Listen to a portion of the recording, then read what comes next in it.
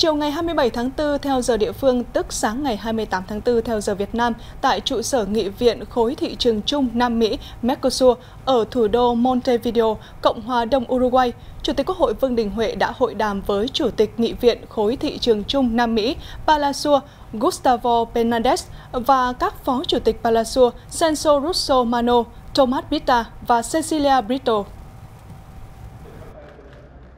Chủ tịch và các lãnh đạo Palliser mong muốn sau chuyến thăm lịch sử này, quan hệ Việt Nam Mercosur và quan hệ Quốc hội Việt Nam với Palliser sẽ được củng cố và phát triển mạnh mẽ, hiệu quả hơn nữa, trở thành cột mốc đưa quan hệ hai bên đi vào thực chất, đem lại lợi ích cho nhân dân Việt Nam và nhân dân các nước Mercosur. Về quan hệ kinh tế thương mại, Mercosur là đối tác thương mại lớn thứ 13 của Việt Nam. Kim ngạch thương mại hai chiều đã tăng gần 5 lần, từ 2,45 tỷ đô la Mỹ vào năm 2011 lên 12 tỷ đô la Mỹ vào năm 2022.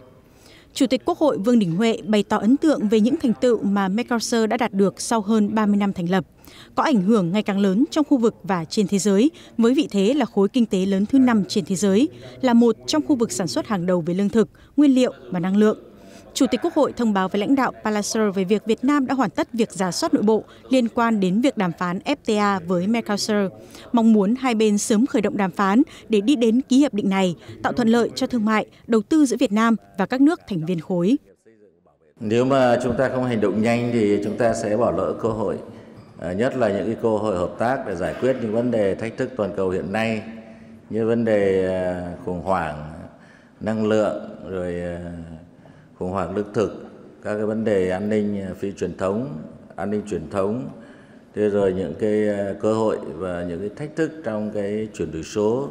rồi chuyển đổi năng lượng công bằng vân vân. Nếu mà dùng hình tượng à, bóng đá thì có thể nói là hiện nay quả bóng thì đang ở chân của các bạn thôi còn chúng tôi thì đã sẵn sàng.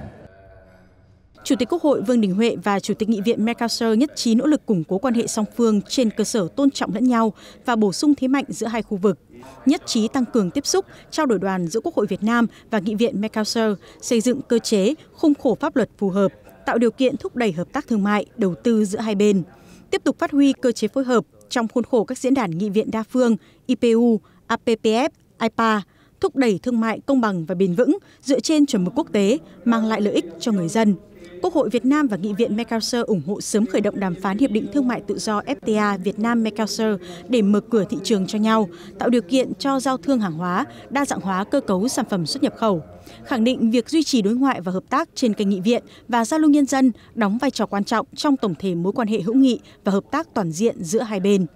Chủ tịch Quốc hội Vương Đình Huệ trân trọng mời Chủ tịch Nghị viện Mercosur Gustavo Penades thăm chính thức Việt Nam. Chủ tịch Nghị viện Mercosur vui vẻ nhận lời. Cũng nhân dịp này, Chủ tịch Quốc hội mời các nghị sĩ trẻ Uruguay sang Việt Nam tham dự diễn đàn nghị sĩ trẻ toàn cầu lần thứ 9 sẽ được tổ chức tại Việt Nam vào tháng 9 tới.